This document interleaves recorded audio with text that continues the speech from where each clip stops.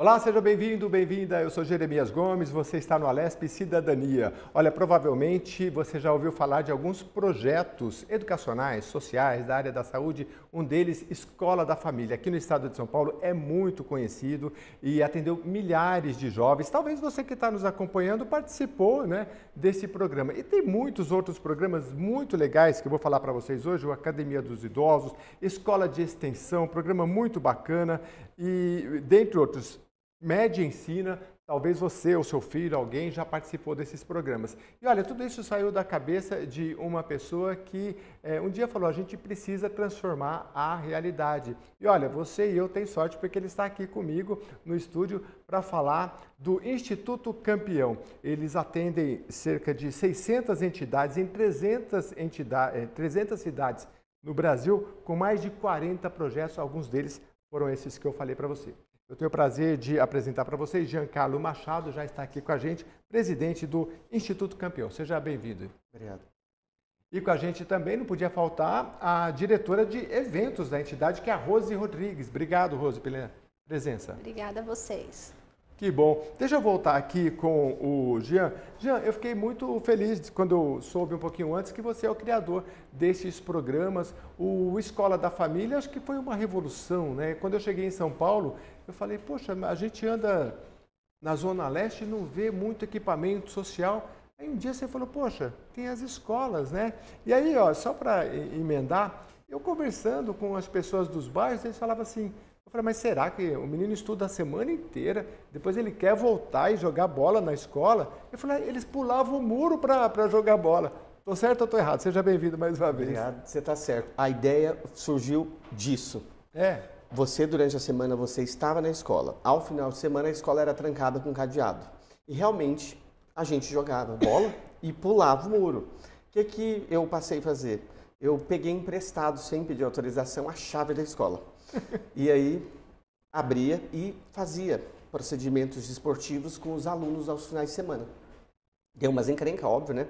Aí um juiz do lado ali do, de Pinheiros, da Rua Jericó, me chamou, que é a Vila Madalena, falou, o que, que você fez? Aí eu expliquei para ele. Ele falou assim, bom, a sua ideia é boa. Quem que te chamou? Um juiz um chamado juiz, Rodrigo. Juiz de direito? É, juiz de direito. Não era juiz de futebol, não, juiz não, de porque direito. ele via, ele soube que tinha alguém abrindo a escola de sábado e domingo e não podia, porque era um lugar público. Hum. E aí ele pegou e, e falou, o que, que era a minha intenção? Eu falei assim, olha, a gente estuda de, sábado, de segunda a sexta, uhum. sábado, domingo você tem um espaço gigante aqui, que você não tem quadra nessa região, você não tem nada para a gente fazer, e a escola tem. Por que, que a gente não pode utilizar isso de sábado e domingo?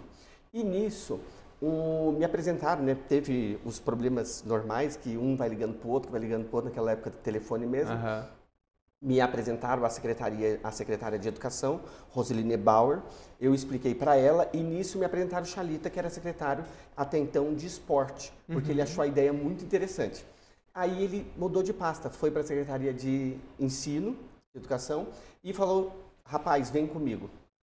Passei a, a, ficar lá dentro da Secretaria de, de, Educação com ele e montando esse o documento, fazendo o cronograma, como que funcionaria um, um projeto que se abrisse as escolas de sábado e domingo. Uhum. E aí ele foi sendo aperfeiçoado. Aí no ano 2001 eu treinei a quase todos os professores, coordenadores e diretores de escola do estado para que eles conseguissem abrir até o final de 2002 é, esse projeto em todo o estado.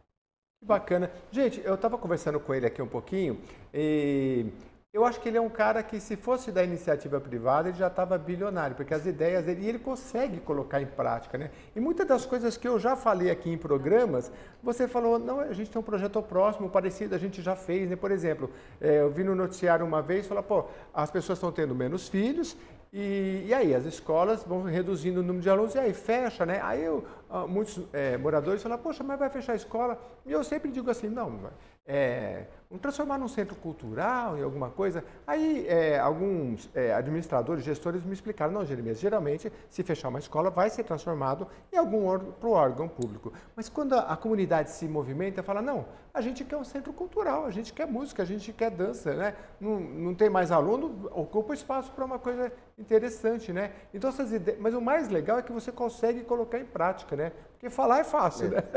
Não, não, é fácil pôr em prática, isso daí eu, eu deixo bem claro. Hoje o, é importante entender o que, que é o Instituto. Certo, vamos, vamos lá, Instituto... que eu, eu, fiz essa abertura só, mas vamos lá, vamos falar do Instituto tá. Campeão. O Instituto ele se chama Instituto Brasileiro Campeão de Auxílio às Entidades Públicas e Privadas. Certo. Justamente porque nesses 27 anos de projeto social que eu desenvolvo, é, efetivamente, diariamente, do momento que acordo até o momento que eu vou dormir, eu vejo o, a dificuldade das outras entidades. Certo. Então, o que, que nós fizemos? Nós fizemos como se fosse um guarda-chuva. Então, nós temos diversos departamentos, hoje nós contamos com 70 departamentos, são 65 membros na diretoria. Então, se você perguntar para mim que eu sei tudo que o meu pessoal está fazendo, eu falo, não sei. O importante é que estamos ajudando as pessoas. E aí, o que, que, o que, que nós fazemos? Todos os lugares têm entidades que querem pro, se propor a ajudar as pessoas. Uhum. O Instituto o que, que faz? Nós montamos os projetos e passamos eles, seja para a prefeitura, seja para outras entidades, para que eles consigam fazer a implementação desse projeto e assim o Instituto auxilia quando precisar coordenar algo, algo do gênero, alterar alguma coisa ou fazer melhorias pontuais. Então vamos lá, eu sou da cidade de Montemoro, Sumaré, Americana, Temos Sorocaba lá. Eu estou lá, eu tenho uma ONG e falo, ah, eu quero montar um um clubinho de, de, futebol aqui, porque tem muita criança na rua e a gente não sabe como fazer, né? Aí tem a verba, vamos supor, da Secretaria de Esportes, que já veio aqui, e sei lá, tem uma verba de X milhões por ano tal, mas precisa ter projeto, né?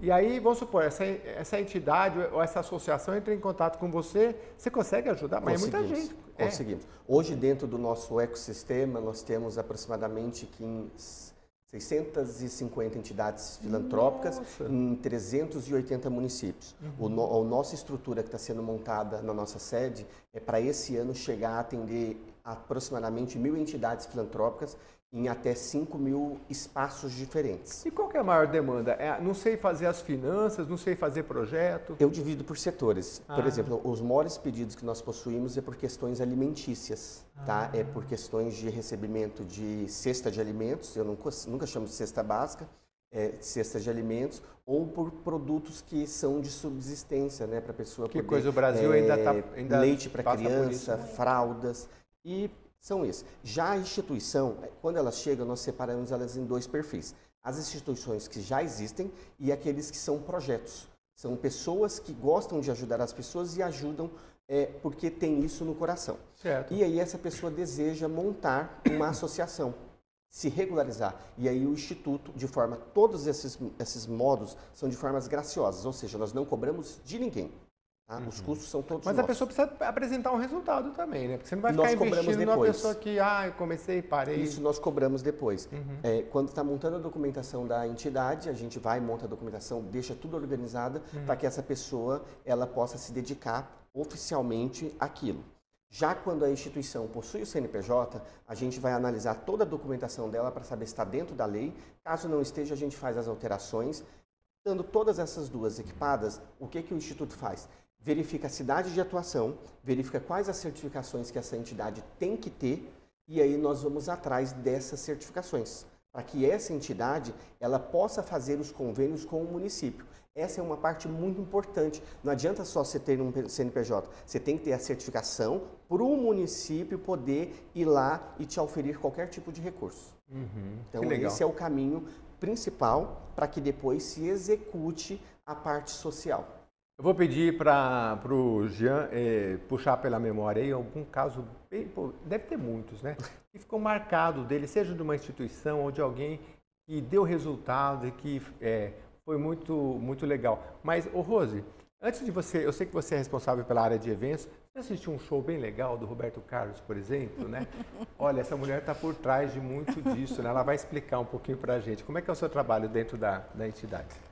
Bom, eu, eu já estou no Instituto há 10 anos. Conheci o Jean através, o, o Instituto Campeão através de amigos em comum. Já tinha um trabalho, mas não tinha nenhum instituto. Eu queria algo mais real. Eu trabalho com eventos, com grandes shows, fiz grandes, de artistas grandes. O último que eu fiz foi o Roberto Carlos. Pois é, por isso que eu lembrei que ela me falou. Mas quais outros aí, fala? Eu fiz o show da Marília Mendonça. Nossa. O último. Legal. Inclusive, foi depois, pós-pandemia, deu 18 mil pessoas e ficou 4 mil pessoas do lado de fora. E alguns desses shows, a gente consegue colocar o ingresso solidário. Eu já vi. Que a gente consegue, a gente, foi, no instituto nosso que, Que tivemos essa ideia. Falei para o Jean, será que seria possível? Ele falou sim. Aí o que, que a gente faz? A gente entra em contato com o empresário do show, eu entro em contato com o empresário do show e pergunto se ele deixa com que a gente faça isso. É uma forma totalmente. Não vai, não vai agravar em nada. E eu. O Instituto, na verdade, cuida de toda a arrecadação, ele que vai lá, que separa. O ingresso solidário é, tem recurso financeiro também ou é só alimento? não, só eles não, quase nunca teve, até hoje não teve. Só alimentos. Ah. Aí na pandemia era álcool gel, roupa, é, produtos de higiene, fralda. E a maioria é alimentos. E Uhum. E a a- estrutura, é, vocês que ficam responsáveis de arrecadar, de recolher, de transportar, de Tudo. entregar, tudo? tudo. Ah. Somos nós que Nossa, é uma ficamos. logística, hein? É. Porque um show do, de Roberto Carlos, por exemplo, né, deve ter muito. conseguir uma boa. Aí depende, mas é, é- é voluntário. É pessoa- voluntário. Tem artistas que é, o artista que aceita imediato. O que a gente mais arrecadou foi no pastor Cláudio Duarte e o da Joelma. Joelma. Que Ah, legal. O público da Mas Joelma como é que é? Eu, o ingresso solidário, eu vou, eu, eu pago o ingresso e além de pagar o ingresso, eu levo. Esses ingressos, eles, ficam, eles são todos vendidos por uma etiqueteira. Dentro daquele, daquela etiqueteira, com autorização do empresário, a gente cria um, inverso, um ingresso com valor diferenciado. Hum, Ele é sempre mais em conta. Mais Por quê? Porque ele tem que pagar o ingresso para o empresário Certo. e ele leva o alimento para o instituto. Então, tipo, se é 200 o, o, o ingresso, pode Paga ser que seja 100, 100 e mais o alimento. mais o alimento. Ah, é, nossa, muito interessante. Mais o alimento. A pessoa, é, e, e aí geralmente é, especifica o alimento que tem que levar, não? A gente normalmente é um quilo de alimento, é, produtos de higiene, Ah, entendeu? Geralmente colocamos, às vezes, exceto sal, porque senão vai aparecer Senão que só a gente vem está trabalhando sal. com sal. legal. Agora, você sabe uma coisa interessante Tem que eu sempre... bombom também. Agora nós temos, agora a gente está em um do tem um- uma festa que vai ter a Black Party. É uma festa internacional, é o Decolen, é uma banda muito conhecida. Eu conversei pessoalmente com o empresário André Costa, ele autorizou, só que ele já deu, ele ajudou, está ajudando muito a gente, ele deu um boom e saiu nos maiores sites, entendeu? Então, eu acho que foi até isso que veio parar aqui com vocês, que a gente saiu no Terra, a Globo também, a Globo, Legal. o UOL, vários, Aham. porque eles estão ajudando. Agora, o mais interessante é que vocês ajudam outras instituições. Então, todo mundo tem que... é, porque, assim, você que está nesse há- há tanto tempo, explica para a gente qual é o- a importância das ONGs no Brasil. O poder público, ele hoje, ele administra através de OS e tem a rede de ONGs também, né? É, às vezes fica no imaginário das pessoas, uma ONG ah, faz algum desvio, alguma coisa, as pessoas todo noticiário da pessoa fica aqui, ah, vou ajudar. Assim. Mas eu acho que não é a maioria, né? A- acho que a, a, é, não, tenho certeza. A maioria é, é de gente que quer fazer, é de gente que tem boa vontade, que presta conta, né? É, a importância é o quê? O próprio nome já diz, terceiro setor. Certo. Tá? É, o governo ele realmente ele precisa ajudar, ele quer chegar. Tem, Uhum. tem, só que ele é muito engessado. Uhum. Então, o terceiro setor vem para auxiliar o governo a- na gestão de políticas públicas, Uhum. sabe? O governo ele não está lá dentro de uma comunidade para saber quem é que está passando necessidade ou não. E hoje a demanda é mais muito básica por alimentos ou tem também de educação, cultura? É de diversos. Por exemplo, existem instituições filantrópicas é, segmentadas, Uhum. né? Então, cada, cada instituição, geralmente, ela tem um eixo principal. Uhum. Se olhar de uma forma um pouco mais ampla, vai se notar que as pessoas precisam mais de alimento. Porém, isso não mata a questão das pessoas terem acesso à parte esportiva, à parte de educação, à parte de cultura. O Instituto mesmo, ele é uma das pessoas que fala o seguinte, olha, eu vou lhe dar o alimento, porém, eu vou lhe exigir a questão de qualificação. Foi daí que surgiu a questão do programa de escola técnica dentro de escola pública, utilizando salas ociosas, que é o quê? O vulgo escola de extensão. Escola de extensão é muito famoso esse programa Porque também. ele conseguiu fazer com que, em vez do governo, né, que é o centro, aqui, estamos falando daqui de São Paulo, embora esse mesmo sistema ele já foi entregue para cinco outros estados que implementaram. Nossa, É, que grandioso. qual que é o objetivo? Eu tenho ali uma escola, só que eu já te dei uma cesta básica, eu estou te ajudando a te suprir nos Uhum. dias básicos.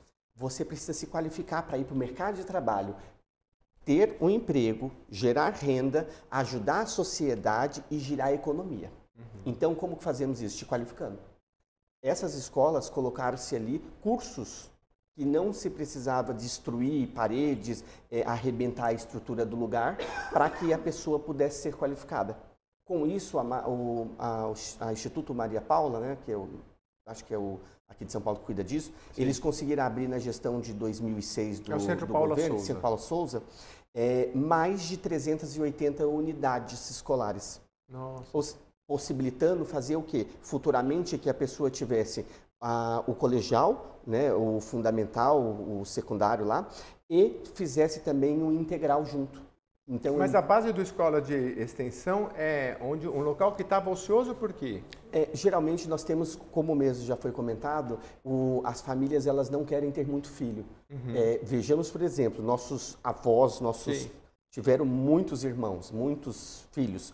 É, as pessoas da minha idade, que são de uma geração, acho que chamada milênio, essas já no máximo três filhos e já sai gritando porque o custo é muito alto de se manter. É. Então só tende a diminuir. Portanto, é. esses equipamentos públicos eles se tornam ociosos. E aí aonde esse equipamento público está ali está usando o dinheiro do Estado porque ele está simplesmente parado uhum. e quando estiver na ruína vai ser mais caro para poder reformar do que para poder deixar ali uma biblioteca, um centro cultural, uma área de atividades e eu acredito que o terceiro setor ele mostra para o Estado aonde está tendo as necessidades. Sim. Quando nós criamos o, o, Academia dos Idosos, que é aquela academia de ferro, que hoje está no Brasil, pessoalmente. Ah, deixa eu fazer um parênteses. Você se anda por aí. Isso é, é Brasil, eu falei, Estado de São Paulo a gente vê muito. Sabe quando você vai na praça, tem aquelas coisinhas de, de rodar? Aliás, eu vi que aquilo lá é chinês, né? Isso. É, eu, eu tenho gente da minha família que o pessoal ia lá e fazia, você tem que rodar aqui.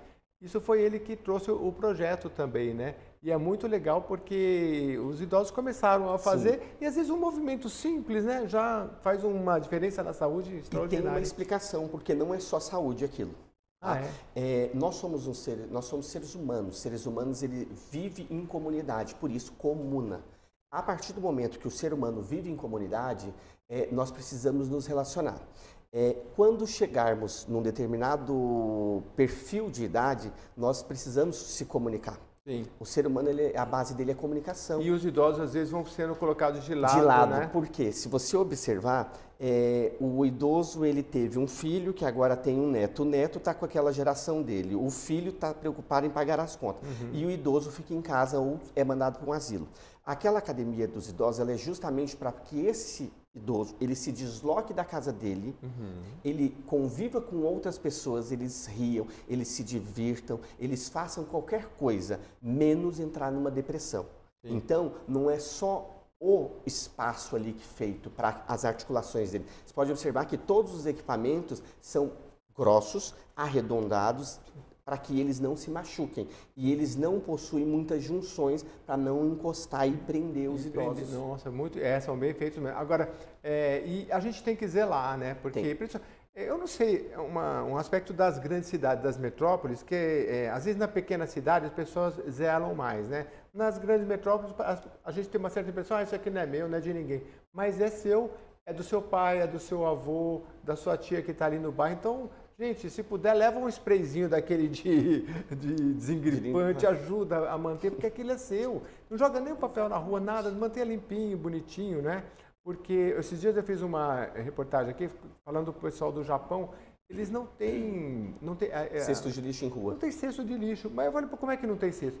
Eles não jogam. Eles Mas é cultural, né? Levou um. Ah, comeu uma bolachinha, guarda no meu bolso e vou jogar em casa, não vou jogar nem, nem no cesto. Então, assim, tudo muito bem cuidado. E a medida é um ciclo, né? A gente cuidou bem, o poder público também ajuda, você cuida também. Não adianta só passar para o poder público. E você ah, é muito interessante porque você consegue transformar as suas ideias em projetos e o mais interessante, conseguir ajudar quem tem é, essa vontade.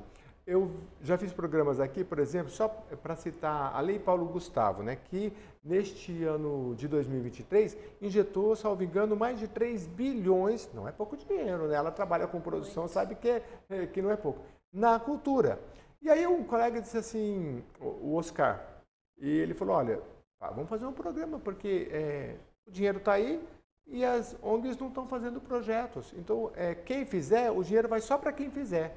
e, e as prefeituras vão perder o dinheiro. Aí a gente fez um programa para estimular e tudo mais, né? Tem muito disso, né? Às vezes tem o recurso, mas você tem que fazer o projeto, o projeto tem que ser bem feito, e aí a coisa anda, né? É, é, é que é como eu expliquei. A maior, a maior dificuldade hoje das entidades filantrópicas é montar a documentação deles e conseguir as certificações para que eles tenham acesso ao recurso. Certificação quem dá a prefeitura? Depende do tipo da onde você está buscando a verba. Se for o município, se for uhum. a parte do estado ou se for o governo federal. Uhum. Tá? Para isso, o instituto, quando ele, ele faz a pesquisa e a análise da instituição, ele já diz, olha, é, o seu, a sua vocação é X ou Y. Então, o tipo de certificações é essa, é essa. A maior parte das pessoas conhece três, quatro, cinco nomes de certificações. É, dentro do nosso trabalho, a gente vai conhecendo cada dia. Eu todos os dias aprendo, tá? Então, eu já estou na 35ª certificação. Nossa. Isso para você conseguir atingir determinado objetivo. E eu falo para as entidades, não é fácil.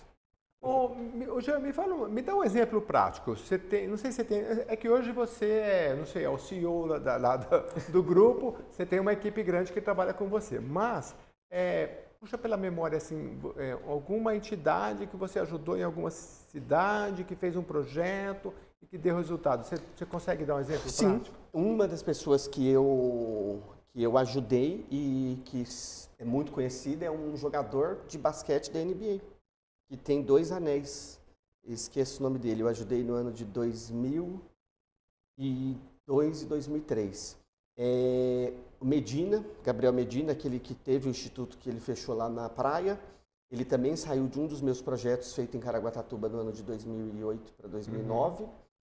É, tenho atletas olímpicos, atletas de jogador de futebol que são famosos, que hoje uhum. trabalham fora ah, o Instituto ele, ele atua em diversas vertentes. Tá? Vai futebol, basquete, futsal, é, a parte de atletismo.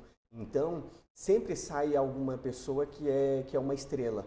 Eu acredito o seguinte, é, se você aplica em larga escala determinados tipos de projeto, em algum momento vai sair alguém que vai brilhar bastante. Com certeza. Tá? Agora, o que que, é, o que que faz uma ONG, hoje é OSC, OSC. né? é, dá certo e o que faz ela não dar certo? Onde é que estão os principais Ganância. erros? Hã? Ganância. Ganância? Ganância. É, todo mundo, quando abre uma instituição filantrópica, a primeira coisa que, que a pessoa pergunta é: vou ficar rico? Não, você não vai ficar rico. Não se você quiser fazer caridade. Se você quiser ajudar as pessoas. Quem me sustenta é a minha empresa que eu tenho com o meu irmão, que, não é nada ligado à parte de, de projetos sociais. É de vidros. É uma vidraçaria. Então, a pessoa que está à frente de um determinado projeto, ela tem que ter uma fonte de renda que não seja a instituição. Porque desse modo, ela não vai pensar em dinheiro, ela vai pensar em como ela vai desenvolver os projetos e a situação. Uhum. E o que faz uma grande entidade se quebrar, e olha que muitas já quebraram, é a questão de que quando ela tem recursos, é, eles querem comprar um carro, eles querem que a instituição mude de, de lugar, querem ter conforto e não aplicar naquilo que é o cerne da instituição, que é a parte da filantropia. Seja se você está investindo num time de basquete, num time de vôlei, num de futsal, no pessoal do, do tênis, não importa. Você tem que destinar aquele recurso para aquilo que a entidade se propôs. Está falando quem tem praticamente 30 anos de experiência. Depois do intervalo, eu quero saber dele como que, se ele tem alguma experiência internacional, se a filantropia no Brasil se assemelha ou é diferente em outros países, como na Europa e Estados Unidos, e empresas também. Se tem empresas que têm a área social, dá certo, não dá, porque muitas pessoas reclamam, falam, ah, eu fiz um projeto, aí falaram, vai nas empresas. Chega na empresa, eu não sei vender. Se é o seu caso, fica com a gente que depois do intervalo ele vai explicar. Já estou cobrando ele aqui. Já volto. Já.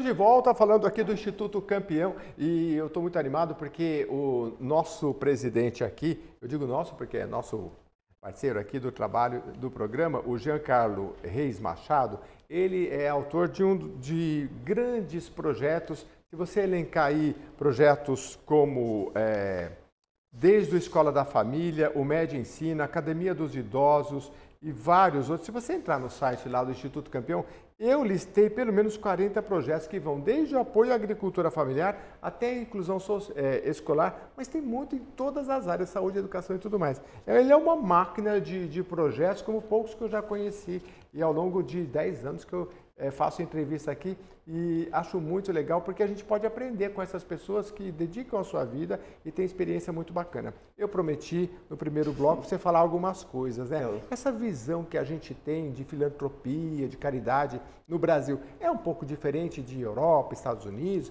Vou falar para você e para a Rose também. É bastante. É, como eu estava te explicando, quando a gente montou o Academia dos Idosos, eu fui, peguei o projeto, pus assim e fui viajar. Eu fui para muitos países, eu levei pessoalmente o Academia a 20 países, tá? tanto Mercosul quanto Europa, é, justamente porque aqui no Brasil você tinha uma resistência em replicar o projeto. Você está falando desse que hoje tem todas as Esse, praças da gente rodar as é, coisas. Uhum, hoje ele é indicado pela ONU, tá? Ele faz parte dentro do sistema de 2030, que é as ODS tá? 17. Então, basicamente, ele leva a questão de civilidade, leva a questão de, de, de trazer as pessoas, Do saúde. encontro né, das pessoas. E, e aí eu fui levando de um por um país conversando com outras entidades, existe sim diferença. O Brasil é um país muito grande, tá? Uhum. É, o nível de necessidades de uma ponta não é igual à outra, só que a cultura de, de, de solidariedade em outros países, ela é muito diferente principalmente na questão a Europa é extremamente diferente dos Estados Unidos. Os Estados Unidos, quando tem alguma tragédia, eles se reúnem todas as pessoas e eles vão ajudar a mobilização em questão daquela tragédia. Uma enchente, aqueles temporais que tem muito lá. Que tem bastante. Há uma mobilização, o governo ajuda e a população e ajuda a população também. também. Europe... Ah, Mas pessoal... com dinheiro também? Com dinheiro. Lá nos Estados Unidos, os, as principais ajudas não é os produtos, são os dinheiro, é monetário. Tanto que o Instagram de lá permite fazer arrecadação financeira. Uhum. Já o Instagram aqui do Brasil, né, que os brasileiros utilizam, não permite arrecadação financeira. Da Europa, alguns países justamente pela cultura. E como é que a gente muda isso? Porque eu falei no primeiro bloco que a gente tem um pouco do imaginário do, ah, viu na televisão, tal instituição desviou dinheiro. Ah, não vou ajudar porque isso aí é meio de vida, né? Ah, e a gente vê que lá funciona, né? O pessoal dá dinheiro, o dinheiro vai para lá. É questão de fiscalização, é questão de, de cultura, mentalidade? É, é, é, é as duas. Ah. Tanto que o nosso instituto ele tem sede internacional. Nós temos unidade em Portugal, nós temos unidade em Dubai e temos uma unidade nos Estados Unidos. Justamente para quê? Para fazer intercâmbio de projetos de cultura e demonstrar que nós aqui do Brasil nós temos muitos projetos, nós podemos receber recursos porque o que, que o Instituto faz? Ele, ele traz as, as coisas boas e ele difunde para as outras instituições, uhum. para que essas instituições consigam trazer um conceito, uma ideia, algo que deu certo em algum país. Se precisar fazer adaptação, a gente vai adaptar e aplicar aqui no Brasil. Uhum. A gente vai divulgar aqui, eu sei que você está entusiasmado igual eu aqui, a rede social deles, o Pix, se você quiser ajudar é, mensalmente, porque hoje o Pix dá para você, ah, quero mensalmente, sei lá, 100 reais. Então, é, pode participar, porque eles precisam muito, porque o movimento é muito grande. É, e temos também é, o Pix, a rede social, ah, e o, o, Instagram deles, que é o arroba... Arroba Instituto... Underline, underline Instituto... Campeão. Ah, a Rose que sabe de qual é arroba... Arroba Instituto Underline Campeão. Rose, e você, como é que você vê essa questão de mentalidade? É importante essa coisa de dar o, o a alimentação, é muito legal, mas é aquilo, né? O recurso, o dinheiro, ele bem aplicado, você, pô, é a coisa mais fungível que tem é o dinheiro. Então, você pode aplicar naqueles é, locais que precisam. E eu acho que vocês se ressentem disso, porque, poxa, vocês têm projetos em todas as áreas. E se você está na área educacional, às vezes o menino precisa de um Wi-Fi, né? De outra coisa, não é? Ele já passou pela etapa do alimento. Se bem que essa no Brasil é essencial, mas enfim. Nós temos uma barreira ainda. As pessoas, quando é, Doação, a gente consegue tocar o coração quando é na parte financeira, as pessoas têm, têm sim critérios, têm uma barreira e é muito difícil a gente conseguir quebrá-la. Uhum. o, o, Brasil também tem um aspecto da, é, religioso, né? Se você pegar, é, se, enfim, é, um, a doutrina, seja católica ou evangélica, ela muda um pouquinho. Tem aqui, se a gente falar da, em questão da religião, por exemplo, eu já fiz um programa aqui que a pessoa fala, às vezes a gente tem no imaginário da, da gente o que de, a mão esquerda der, que está na Bíblia, né? que, a, que a direita não saiba. Então, isso é. Eu conversando com uma senhora de. Acho que é do grupo voluntários.org, alguma coisa assim. Ela falou: olha, é, a gente tenta desconstruir isso porque quando uma empresa ou quando alguém faz uma doação e ela divulga, ela incentiva outras. Agora a gente tem, vê muita gente que fala assim, eu vou doar, até empresários ou pessoa física, mas eu não quero que ninguém saiba, porque isso é uma coisa do brasileiro. Mas ela fala, nem sempre é certo. Porque não é que você vai sair divulgando, olha, fiz a caridade e tal. Mas se você fala, nossa empresa está ajudando tal coisa, e, e, ali tudo fiscalizado direitinho, você ajuda outros se espelharem naquilo também, né? A Acho gente que tenta poucos... quebrar esse paradigma, mas as pessoas né? realmente doam e não, não querem botar a cara. Se for nos Estados Unidos é diferente um pouco, né? Lá o pessoal fala, é, sei lá, é, tinha até a briga famosa lá nos anos 60 do Rockefeller e do, do Carnegie, né? Que era o rei do aço e o rei do petróleo, né? Aí o, o, o mais rico era o Rockefeller, né? E aí o, o salvo engano, o Carnegie, que era o rei do, do aço, começou, ele, no final da vida, ele vendeu tudo, era a empresa mais, depois do Rockefeller, a maior, e começou a fazer a Fundação Carnegie, é, tem a biblioteca que é muito Sim. grande. Aí o Rockefeller, acho que ele ficou meio ciumado e já começou a fazer as bibliotecas. Tudo lá. E foi uma disputa maravilhosa, porque ambos destinaram parte das suas riquezas é, para isso. Em relação às empresas, como é que você vê diferença no Brasil, Estados Unidos e Europa em relação a divulgar, a ajudar, associar sua marca a, a projetos? As empresas elas, elas ainda utilizam muito as leis de incentivos. Isso uhum. é fato, ela só vai a fazer doações se houver uma a lei de incentivo. Que é ICMS, tem outras, né? É, você tem ali é, PROAC, você tem a, as leis federais, que é certo. é o, o que o pessoal mais conhece, que é a, a Lei Rouanet. Lei Rouanet. É, você tem a lei de esporte. É, mas o fato, as empresas elas não veem como se fosse uma, uma, uma parte é, fundamental da formação da estrutura e do caráter da empresa. Tá? Ah. É, o que quebra uma empresa, eu sempre falo para os empresários, é a, a sua cultura. Se você não conseguir implementar uma cultura e mostrar para o funcionário que ele também tem que ajudar as pessoas, que ele tem que fazer a parte dele, é, esse funcionário não fica muito tempo no seu negócio. E aí tudo que você investiu para aquele funcionário estar tá ali, vai embora. Tá? Tem empresas é, multinacionais e nacionais que assim elas têm uma, uma hombridade, uma, eu não sei como dizer a palavra, é, que você fala o nome daquela empresa você fala, meu, eu confio de, de olhos fechados, assim, né? Porque eles constroem, né? É, eu vi um caso de uma vez, por exemplo, de um medicamento que alguém falou que o medicamento poderia fazer mal, e era um dos medicamentos que, número um de vendas da empresa. E o dono, a gente vai citar o nome aqui, ele falou assim, eu tira do mercado agora. Porque primeiro de tudo, é, a nossa, é, é, o nosso compromisso e a nossa imagem. Depois a gente vai ter o prejuízo, a gente vai ver. Então, esse tipo de atitude, assim, as pessoas se reconhecem. E muitas vezes também, eu sempre falo assim, se você conhece alguém que trabalha naquela empresa, converse com o funcionário.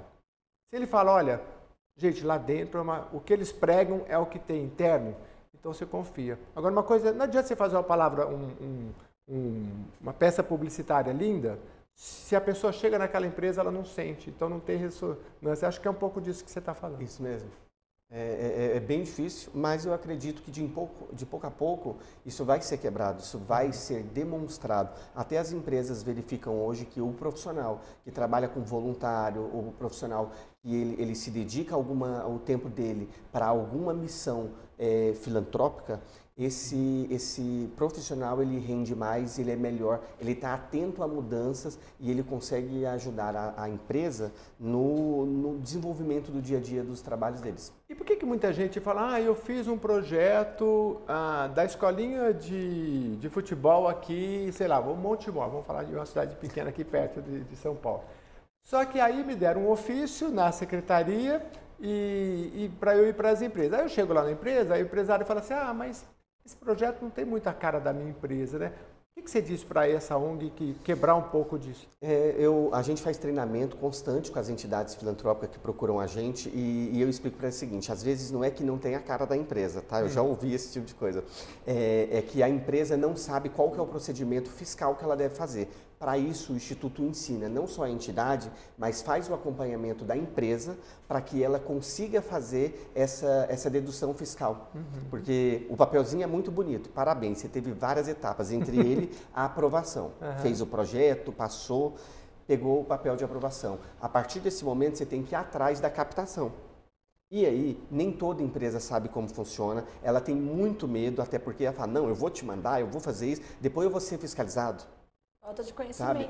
E é onde a gente leva para as empresas a questão tem que de levar meio mastigado. Falar, olha, tem, é totalmente é mastigado. Né, totalmente, né? Totalmente. É, né, Rita? É, me Rose. fala um pouquinho. É, Rose, desculpa. É, me fala um pouquinho desse mastigado, porque. Ah, a pessoa tem um pouco de receio, mas por exemplo, olha, você tem o ICMS aqui, você pode descontar X%, é simples, como é que você...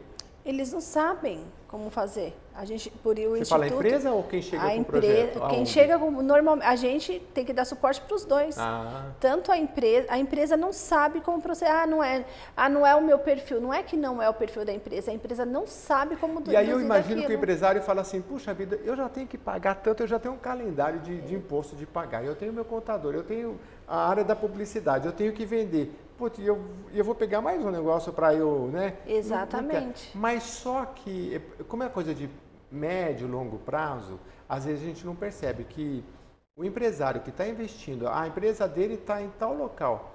Ao longo do tempo, aquele investimento dele vai qualificar aquelas crianças que poderiam estar para outros caminhos, ela vai ajudar as famílias e às vezes são aquelas famílias que vão trabalhar na empresa dele. Então, assim, o recurso está na comunidade. Ah, eu não quero assim, ah, no, no imposto de renda eu posso fazer uma doaçãozinha para a entidade X. Se você não fizer, vai para o governo federal e ele vai distribuir. Mas se você fizer, pode, você pode beneficiar algo próximo de você. E é, isso é maravilhoso, porque você pode, você tem é, esse, essa prerrogativa, esse benefício de direcionar um pouquinho do seu recurso. E aí é questão de investir um, tempinho lá para direcionar, tanto a gente, pessoa física, quanto o empresário, né? Falta eles entenderem isso, os empresários precisam entender isso. Uhum. E a maioria não entende. Agora, quando é uma grande empresa, às vezes ela direciona. Sim, um as grandes empresas mais, é diferente. Mais as fácil, grandes né? empresas é diferente. Por isso que tem tantos programas com as grandes empresas, a Uhum. gente consegue. Ah, entendi. Agora, eu fico pensando, esses dias a gente trouxe aqui o pessoal de Paraisópolis. Vocês são de São Paulo, né? Somos. Eu fico, é, aí aquele mar, a gente mostrou uma foto, é um mar de casa. Uma das coisas que eu olhei e falei, gente, não tem árvore aqui. Então, assim, o, a, eles falaram que a molecada, a molecada, assim, os jovenzinhos, né?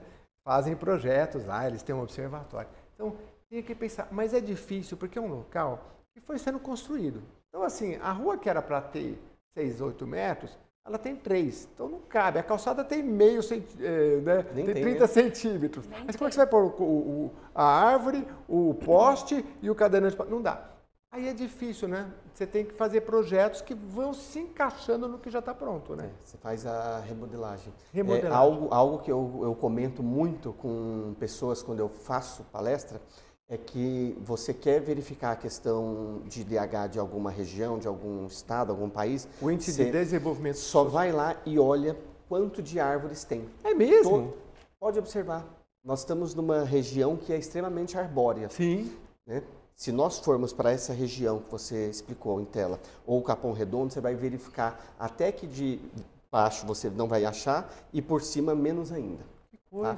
E isso é cultural. O Instituto tem vários projetos, por exemplo, a gente criou em diversas entidades, em diversas ah, comunidades, a questão de, das hortas comunitárias, que era o primeiro modelo das pessoas compreenderem que, olha, a árvore está ali, ela é boa para o sol, tudo, mas é da terra que vem o que você come. Então, se eu começo a demonstrar para as pessoas que, tipo, o produto que ela consome não vem do supermercado, tá? Porque a maior parte ainda acha que vem, e vem de outros lugares que não da terra, ela tem que rever, porque ela vai precisar da terra, Sim. ela vai precisar da árvore. Então, é, os primeiros, então a gente está engatinhando, tem que ensinar muita coisa. É, a gente, porque a gente foi se desconectando e assim, em São Paulo, acho que há um, dois anos, o número de gente que mora em prédios ultrapassou é, quem mora em casas. Isso. E a gente vai perdendo essa conexão. É, as grandes metrópoles, elas, as pessoas não cuidam das praças, né? Então as praças é um, parece que é um lugar de ninguém. Você vai numa cidade do interior, as praças têm flores, tem. E, as, e, os locais arborizados, eles trazem vida e valoriza. Se o seu terreno vale X, ele passa a valer um X e meio, porque você chega no, esteticamente é melhor. O clima é de 5 até 10 graus de diferença. Agora que a gente está vivendo esse calor imenso, né? Então o seu bairro ganha uma vida. Até eu, eu no programa que eu fiz, eu falei, olha, é, nós temos o, o Vigilância Solidária. Eu fiz matéria sobre isso, o pessoal às vezes se reúne para tirar o carro que está abandonado na rua, para plantar árvore. Então, vai cuidando do bairro. Começou pela segurança, porque é a realidade que a gente vive, mas vai cuidando do bairro. Isso é muito legal. Agora, quando tem ONGs, agora uma coisa que eles falaram, tem sempre que ter um líder na frente. Sim. Se não tiver um líder, fica uma coisa largada. É que é a pessoa que vai viver aquilo. É, uhum. Eu falo o seguinte, uma entidade, ela é a representação do presidente. Porque é a pessoa que vai estar ali todo dia. Uhum. O, os outros apoiadores, nós temos bastante pessoas na nossa instituição, só que nós temos um núcleo que é, é sempre aqueles diretores que toma rédea toma e vai e vai fazer as coisas. Sim, sim. que é mais que apanha eu... também. o, o Jean, eu não queria que você fosse embora sem dar um recado muito, o máximo que você puder passar para as pessoas que estão no Brasil afora é, com o projeto na mão, é, falar mais dos erros, porque assim, contar um pouco da sua história, porque o Jean, gente, ele é, é, fez o, programa Escola da Família, que é um dos programas mais sensacionais que eu já vi, Escola de Extensão, Academia dos Idosos, Média Ensina, que ele não falou aqui, mas é que é para estudantes da, é, que carentes, enfim, é, vulneráveis socialmente, possam passar na, na USP, e mais de 40 projetos em 300 cidades. E o futebol a, dos artistas. É um dos mais Hã? conhecidos. Como Futebol chama? dos artistas. Futebol dos artistas. O futebol dos artistas também é dele. Então, assim, o que, que você diz para a pessoa que vai procurar uma prefeitura e fala, puxa vida, mas é tão complicado e ah, eu não sei preencher o formulário. Como é que as pessoas vão se perdendo no caminho? Que, quem é que dá certo e aquele que se perde no caminho não dá certo quando ele quer fazer um projeto? Ou o empresário que quer ajudar também e às vezes se perde? É, para você que tem uma entidade filantrópica, você que trabalha com o terceiro setor, a primeira coisa que você tem que ter, assim como qualquer outro profissional, você tem que ter qualificação. Você precisa se qualificar, você precisa aprender, você precisa buscar conhecimento. Não adianta você querer ajudar pessoas se você não conhece e não sabe o motivo pelo qual você está ajudando ou os caminhos que você deve levar para ajudá-las. Por exemplo, vai fazer um projeto? Sua entidade está certificada, ela tem a documentação necessária para passar nos editais públicos. Tá? Caso não tenha, pode entrar em contato com o Instituto, o Instituto vai te dar esse apoio, vai te dar essa força. Nós hoje temos muita gente coligadas em todo o Brasil que podem estar próximo para poder te apoiar pessoalmente, presencialmente, senão a gente faz tudo por sistemas de treinamentos online. Já você empresário que deseja ajudar pode entrar em contato com o Instituto. Nós temos muitos projetos aplicados em diversas regiões do nosso estado e também no nosso país. É, nós cuidamos de levar os valores para as entidades, levar o que eles precisam, fazer toda a parte de auditoria, de verificação, para que aquele projeto ele consiga ser amplamente aplicado, tenha resultados e consiga ser comprovados.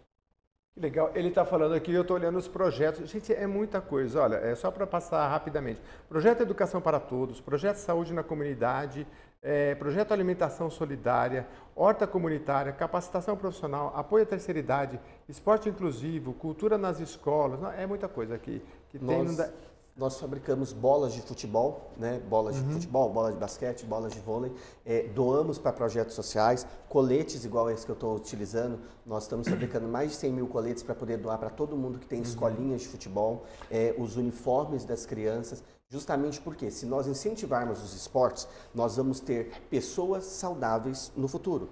A partir do momento que você tem pessoas saudáveis no futuro, você tem, primeiro, a pessoa tem lá a sua preparação física. Uhum. Se vir sem querer ofender uma gripe, qualquer tipo de, de outro tipo de doença, a resistência desse corpo vai ser maior. Então é uma forma que eu estou preparando, né, que esses projetos preparam as pessoas para aguentar determinado tipo de situações que podem vir no futuro. Uhum. Tá? O que, que você diz para o prefeito ou o secretário de, seja de esporte ou de Cultura, social, ou diretor, social. às vezes não tem, não tem secretário, mas tem diretor, né? Ele está com vontade, e pelo lado dele, é ele ir ouvir as comunidades? Olha, Ele pode entrar em contato também conosco. Ah, Nós orientamos Tem o eles. contato aí, gente. tá? E tem o WhatsApp deles também. Nós orientamos ele qual o procedimento que eles podem É. fazer. Hoje, aqui no Cinturão de São Paulo, nós temos cerca de 22 prefeituras que nós damos todos os apoios e suporte para eles.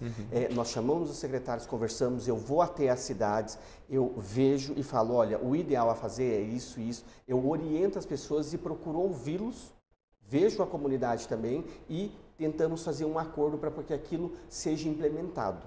Tá? Eu acredito o seguinte, cada município ele tem uma demanda específica. Tá? Nós temos o município de São Paulo que tem mais jovens do que pessoas idosas. Eu também fiquei surpreso quando eu vi isso. E aí o prefeito falou, e olha, é, o recurso que a gente recebe para isso é isso. Eu falei assim, é, para isso você tem que se adequar assim, assim, assado, para poder fazer uma solicitação. Então, às vezes, o prefeito ele é eleito, ele coloca pessoas ali, mas eles nunca tiveram a preparação para trabalhar com a coisa pública. Então, eles têm o desejo, mas eles não sabem como fazer a, a metodologia para aquilo funcionar. E aí é onde entra o terceiro setor. Então você está convidado para vir aqui uma vez por mês para a gente falar. É sério, ou você vai mandar um representante aí, porque, gente, a demanda é muito grande. Eu fiz um programa com um. Assim Da que Braz. pass- é, vieram as eleições, a gente fez um programa aqui falando sobre. Ah, eu sou prefeito, e agora? Né? Alguma Ah. coisa do tipo, né? A, a, a demanda foi muito grande de visualização, tamanha quantidade de pessoas que, assim, a equipe chega e não sabe. E tem de tudo, né? Sim. Eu, durante a pandemia, eu fiz muito programa sobre educação e eu descobri uma realidade, é, assim, veio a pandemia. Tinha, é, você pega São Caetano, por exemplo, é uma cidade muito desenvolvida, eles já tinham, ah, aqui a gente usa Google Educator, né? A gente já estava muito caminhado, tá lindo. Aí você pega, vou citar Montemor de novo. Aí o pessoal fala assim, ah, a gente mandava as, as aulas por Facebook, WhatsApp, vai do jeito que dá, a gente não sabia. E não tem uma padronização. Aí quando você fala com estudiosos, fala, Jeremias, não, no- passado, no Brasil, teve vários projetos para ensino online e tudo mais. Só que assim, um governo deu, depois entrou outro, deu continuidade, o outro parou, aí o outro veio o outro. Então, assim, a gente não tem uma coisa como o telecurso segundo grau, que era antigo, que era muito bem feitinho, veio a pandemia ninguém sabia. Então, assim, eles têm muitas dificuldades. E eles- aí eu falei com o prefeito, ele falou, ah, é, isso aí não é só da educação, não. Eu já fui prefeito em mais de uma cidade, cada cidade é um sistema, é um jeito. Então, não sei se a padronização é boa ou não. Também não sou Perfis especialista, e- né? Perfis totalmente diferentes. É, e né? necessidades diferentes. Necessidade. Para a área de tecnologia, eu acredito que sim. Nós temos alguns programas eh, de desenvolvimento tecnológico que ensina a juventude a trabalhar com o sistema hoje AI, que vai substituir eh, inteligência artificial, né? Inteligência artificial, está dizendo, eh, que vai tirar o emprego das pessoas. Sim. Então, se a pessoa não tiver eh, muito orientada, não tiver qualificada, ela vai ficar para trás. Tanto que já fora do Brasil já tem várias correntes que deixam bem claro o seguinte: a única profissão que vai sobrar não é nem a nossa, é a profissão que é aquela de trabalhador, eh, pedreiro, O serralheiro, braçal, o braçal. ou cuidador, enfermeiro, quem que está direto. porque o cozinha. resto, hoje você faz uma faculdade de quatro anos para poder programar sistema, você chega num desse software aí novo, você fala, programe uma página assim, assim, dá os comandos específicos, óbvio, ele vai lá e te programa. entrega toda a linha Ontem eu vi uma, uma matéria dizendo numa empresa sueca, é, multinacional, está em muitos países, eles colocaram um chatbox, chat, chat, É. chatbot, que responde às perguntas dos clientes automaticamente. Automaticamente eles poderiam despedir 700 pessoas do telemarketing. Eles não optaram nesse momento por não despedir. Neste momento, né? Mas o chatbox já está. E ele foi é, superior ao atendimento do telemarketing. Humano. Ele respondeu mais perguntas, foi mais eficaz. E é uma ferramentinha que, né, eletrônica, né? Então, é, eu acho que nesse setor da área de educação que você está atuando é muito legal. Bom, é, a gente está encerrando. Eu queria saber se a, se a Rose tem mais alguma coisa para. Que show que vem bom aí agora que a gente pode saber, porque eu também quero saber da agenda. Nós Já tem alguma coisa o- programada? Temos o Blast Party, que a gente está fazendo arrecadação com ingresso. Best Party. Isso. São, a banda principal é o The Calling e o Fresno. A, a The Calling é uma banda Ah, eu vi no americana. Instagram, o Fresno lá, o Instagram de vocês. Ah, que legal. o, o The Calling é a banda principal. O Fresno também, e tem algumas outras bandas lá, nós estamos fazendo arrecadação de alimentos. Uhum. E nós vamos ter um no Aricanduva, que surgiu hoje, graças a Deus. Olha, primeira mão, vamos lá.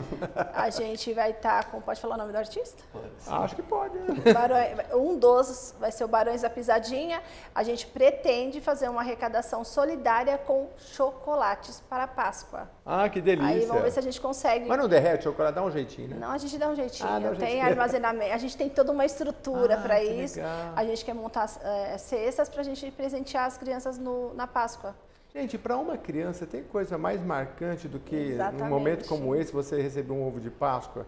Pode ser, pode passar 10 anos assim, mas se receber uma vez, isso vai te marcar o resto da vida, né? Marca. É muito bom. Marca. Aliás, para fechar, eu queria que a gente falasse disso, dessa coisa de. A gente falou da, que a mão direita nos der, a outra não saiba, e que a gente de, talvez tenha que desconstruir é, na interpretação disso, é, eu até falo para o pessoal, você vai doar sangue? Não posta lá no Instagram, ah, eu doei sangue, gente, legal. Posta um dia antes, gente, amanhã eu vou doar sangue, você quer ir comigo?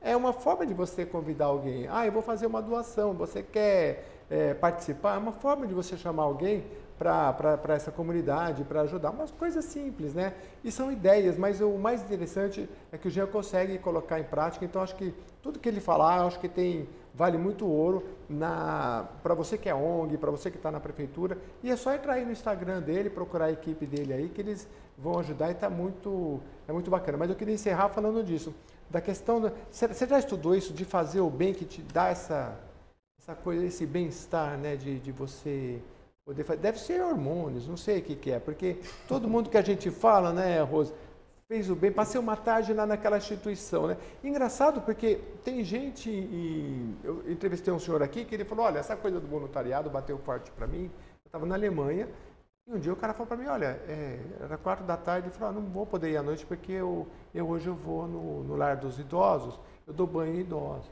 Ele falou, aquilo acendeu uma lâmpada assim, ele falou, pô, o cara deixou de não de num evento para e ele fazia toda aquela semana. Vezes, por que, que o cara faz isso? Porque também tem a vantagem para ele, ele se sente bem, né? Tem, tem, tem muito disso. Né? Tem, né? a gente tem, é algo surreal.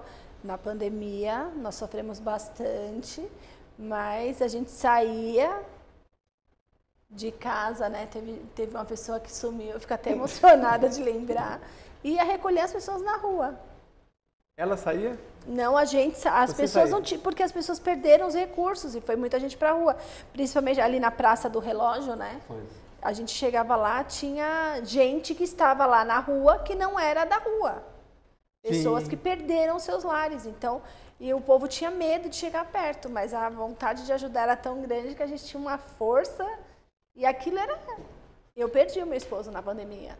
Nossa eu vi uma matéria é, mostrando que as pessoas estavam indo para a rua na pandemia e eu via, passava de moto, eu vi, por exemplo, uma família inteira, que, inteira e com uma barraquinha e a pessoa assim, e você sabe quando que aquilo é diferente da, do, de outras pessoas, Exatamente. porque eles eles pegavam uma madeirinha e tinha umas panelinhas e um, um, um barraquinho e aí e criança e assim, você via que a casa deles foi transferida para a é, rua. Você olhava e você se conseguia identificar. Lá na praça, eu lembro perfeitamente de uma família, estava a família inteira. Uhum. Pai, mãe, avô, as crianças, você olhava e você identificava. Eu liguei para o Jean no momento e falei, Jean, eles não são daqui, eu preciso fazer alguma coisa e eles estão aqui, estavam com recém-nascido. Não são daqui que eu quero dizer, não são pessoas de rua. Estavam na rua devido à pandemia e a gente passou muito sufoco. Eu peguei uns três Covid na pandemia, não senti nada. Absolutamente nada. Obrigado pela sua presença aqui. Obrigado, viu, Rose? Obrigado, Jean. Volte sempre, viu? O nosso tempo chegou ao fim, mas olha, tá obrigado ótimo, pela participação de vocês. Obrigada a vocês, viu? Muito obrigada. E olha, para você que acompanha até aqui, obrigado. Mande as suas sugestões, reveja esse programa lá no YouTube. Até a próxima.